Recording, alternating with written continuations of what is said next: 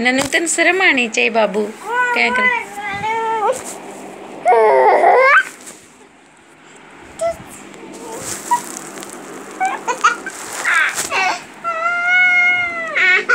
Ha